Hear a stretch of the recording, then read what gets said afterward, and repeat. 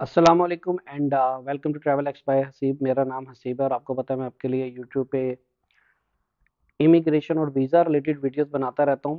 Uh, यहाँ पे एक डिस्क्लेमर दे दूँ कि मेरा टिकटॉक पे अभी तक कोई अकाउंट नहीं है। Uh, कुछ लोगों ने फेक मेरे नाम से अकाउंट बनाया था और मुझे पता चला कि उन्होंने कुछ चार्जेस भी लिए कुछ वीज़ा अप्लाई करने के लिए तो मैं आपको बताता चलूँ। अभी तक मेरा टिकटॉक पर कोई अकाउंट नहीं है। जैसे ही मैं अपना टिकटॉक पे अकाउंट बनाऊँगा मैं आपको बता दूँगा, ठीक है? हाँ मेरा व्हाट्सएप चैनल है, मैं नीचे डिस्क्रिप्शन में उसका लिंक दे रहा हूँ, आप उसको फॉलो करना चाहते हैं तो कर सकते हैं। इसके अलावा ट्रैवल ऐप जैसे कि हमारा ग्रुप है, उसका मैं एडमिन हूँ, वहाँ पे आप मुझसे बात कर सकते हैं, ठीक है? मैं हमेशा कहता हूँ, कोई भी मसला है, आप मुझे इनबॉक्स करने की बजाय हमारे ग्रुप में शेयर करें और वहाँ पे हमारे अलावा भी जो रिसेंटली जिनका एक्सपीरियंस होगा, वो आपको बताएँगे। तो ये था एक छोटा सा मैसेज तो अब आते हैं आज की वीडियो की तरफ़। अगर आपने अभी तक चैनल को सब्सक्राइब नहीं किया तो कर दें और वीडियोस पसंद आए तो लाइक का बटन लाजमी दबा दिया करें। आपको पता है मैं यूएसए के बारे में तो काफ़ी वीडियोस बनाता रहता हूँ जो कि मोस्टली विज़िट वीज़ा के ऊपर होती हैं। तो कुछ लोग मुझसे बार बार पूछते हैं कि जो इमिग्रेंट वीज़ा होता है, जैसे कि आपने एफ़ फोर फैमिली वीज़ा है, आपका, उसके अलावा आपका के वन जैसे कि वाइफ का वीज़ा है या आपका एम्प्लॉयमेंट वीज़ा है तो उसके इंटरव्यू क्वेश्चन कैसे होते हैं, ठीक है? तो मैं इसकी तरफ़ आना नहीं चाह रहा था, मैं इस सिलसिलाकार को शुरू नहीं करना चाह रहा था क्योंकि इसकी रीजंस ये होती हैं कि जब मैं शुरू करूँगा तो फिर मुझे आपको इंटरव्यू बुलेटिन के साथ भी अपडेट रखना पड़ेगा। तो मैं कोशिश करूँगा इसके लिए फिर रेगुलर आपको साथ साथ अपडेट रखूँ।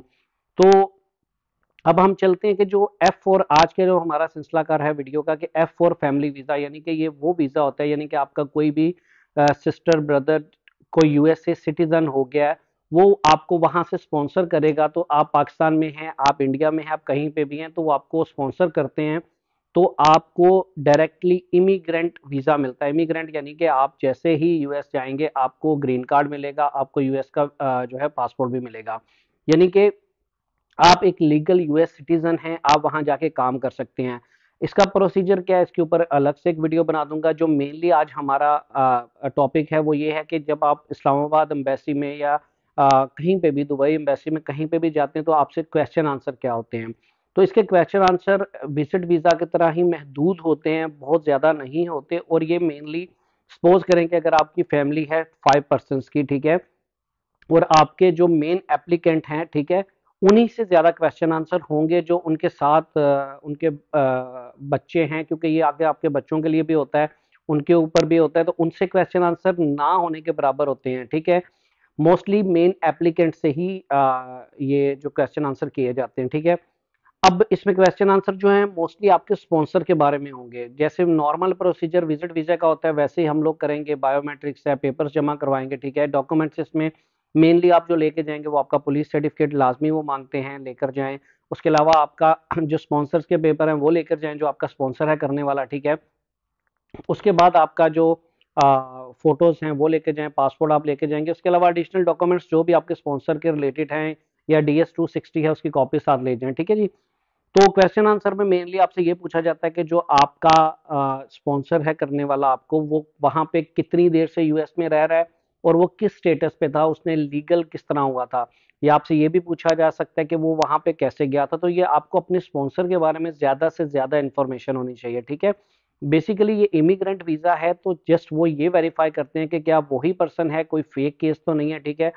तो आपसे ये पूछा जाएगा आपका स्पॉन्सर क्या काम करता है? अगर आपको उसके बारे में इंफॉर्मेशन होनी चाहिए कि वो वहाँ पे क्या काम करते हैं, वो जॉब करते हैं, वो क्या बिज़नेस करते हैं, उनका कंप्लीट नेम आपसे क्या रिलेशन है, आपका उनका बहन भाई का रिलेशन है, या वो आपके ब्रदर हैं, या जो भी है, उनका कंप्लीट नेम अगर आपसे ये भी पूछा जा सकता है कि अगर उनके अगर बच्चे हैं तो वो कितने हैं? और इसमें ये भी क्वेश्चन पूछा जा सकता है कि आप वो लास्ट लास्ट टाइम जब पाकिस्तान आपके पास आए थे, ठीक है, आपसे मिले थे, वो कब मुलाकात हुई थी, ठीक है? मैं हमेशा कहता हूँ कि उनके पास तो सिस्टम में हर चीज़ ऑनलाइन होती है तो आपके पास भी एक्यूरेट इन्फॉर्मेशन होनी चाहिए, ठीक है? तो आपसे ये भी क्वेश्चन पूछा जा सकता है कि आप यूएसए क्यों जाना चाह रहे हैं, ठीक है? आपसे ये भी क्वेश्चन पूछा जा सकता है कि आपके यहाँ पे सोर्स ऑफ़ इनकम क्या है? अगर आप पाकिस्तान में रह रहे हैं तो आपका सोर्स ऑफ़ इनकम क्या है? यानी कि आप यहाँ पे क्या काम करते हैं, ठीक है? उसके अलावा जी अगर मैं बात करूँ कि आपके स्पॉन्सर से हट के आपके बारे में अगर पूछा जाए तो आपसे ये क्वेश्चन आंसर हो सकते हैं कि आप यहाँ पे क्या काम करते हैं। आप क्या मेरिट तो नहीं है क्योंकि जो एफ़ फोर की इमिग्रेशन होती है, इसमें अगर आप, आपके बच्चे सपोज़ करें, आप मतलब एप्लीकेंट ही हैं मेन एप्लीकेंट हैं, आपके बच्चे हैं, आगे अगर उनकी शादी हो गई है तो उनको फिर ऑटोमेटिकली रिमूव कर दिया जाता है एप्लीकेशन से, ठीक है जी? तो आप, आपसे ये भी पूछा जा सकता है, आपसे ये भी कहा जाता है कि आप वहाँ जाके शादी इमीडिएटली नहीं करेंगे अनटिल आपको ग्रीन कार्ड नहीं मिल जाता। तो मेनली आप, यहाँ पे मैं एक चीज़ जो है ऐड करता जाऊँ, अगर आपको इंग्लिश नहीं आती तो कोई प्रॉब्लम नहीं है, पाकिस्तान में आप, ठीक है?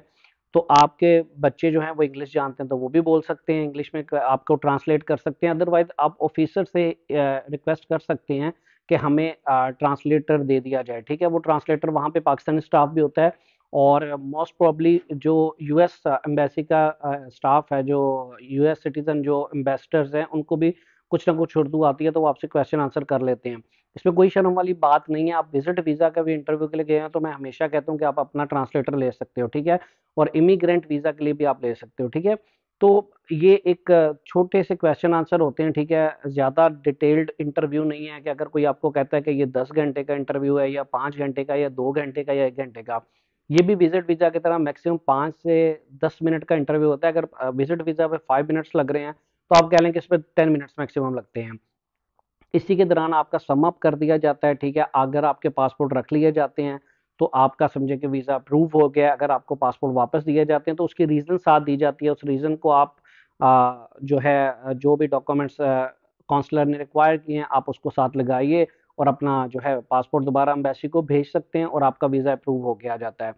तो उम्मीद है कि आप इस इस वीडियो के बाद जो आपके जो बार बार आप मुझसे काफ़ी लोग इनबॉक्स करके पूछ रहे थे उनके जो इबहम है वो दूर हो गए होंगे। और अगर आप में से किसी का भी एफ़ फॉर वीज़ा या मैरिज केस अप्रूव हुआ है रिसेंटली तो मैं आपसे रिक्वेस्ट करूँगा, आप मुझे इनबॉक्स करके बताइए। और अगर आप लाइव वीडियो पे आना चाहें, क्या कि आपका जो रिसेंट एक्सपीरियंस हुआ है, लोगों को उससे काफ़ी कुछ सीखने को मिलेगा।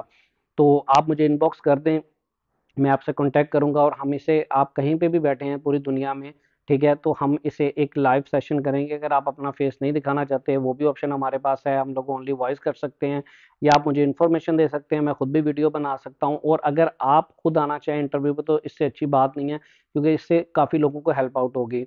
उम्मीद है आपको वीडियो पसंद आई होगी। अगर आपने चैनल को सब्सक्राइब नहीं किया तो कर दें। यूएसए के रिलेटेड मजीद वीडियोज़ आपको मिलती रहेंगी। अपना बहुत सा ख्याल रखिएगा। टेक केयर अल्लाह हाफिज़।